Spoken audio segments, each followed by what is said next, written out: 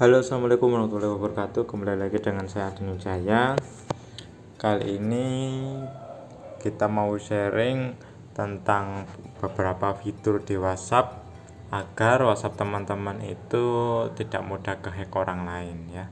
Agar tidak mudah kehack orang lain Agar tidak mudah nanti uh, akun kita itu disalahgunakan online Karena akun kita berhasil dibobol orang. Nah Salah satu caranya adalah dengan mengaktifkan uh, the to apa ya namanya? Nah ini ya.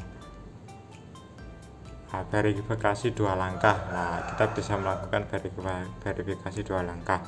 Sama halnya seperti Facebook maupun Instagram kita juga di WhatsApp bisa melakukan ini. Ya caranya ke sini setelan akun kemudian verifikasi dua langkah. Kemudian kita bisa aktifkan uh, kita membuat pin ya. Nah jadi dengan membuat pin ini nanti kita bisa uh, ketika orang mau mencoba membuka itu orang itu wajib memasukkan pin. Nah aksesnya hanya kepada kita. Ini contoh saja ya. Hmm. nah ya ini ya nah terus kemudian juga kita bisa memasukkan email ya email. Misalkan uh, siapa gitu ya. Hmm, testing. Lanjut. Nah kemudian testing. Gmail com ya. Nah seperti ini ya.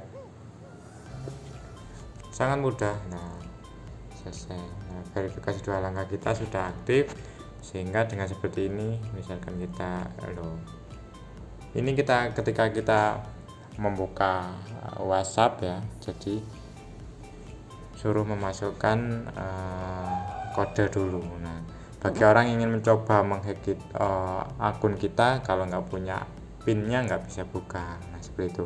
Jadi dapat dipastikan nah, akun kita nanti aman dari bentuk hack ya.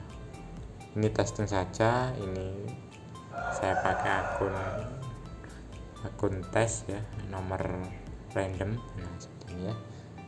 Jadi ketika orang mau mencoba dibuka, dibuka di HP orang lain nanti susah. Seperti itu ya. Semoga bermanfaat agar uh, akun teman-teman terbebas dari hack. Saya kira wassalamualaikum warahmatullahi wabarakatuh.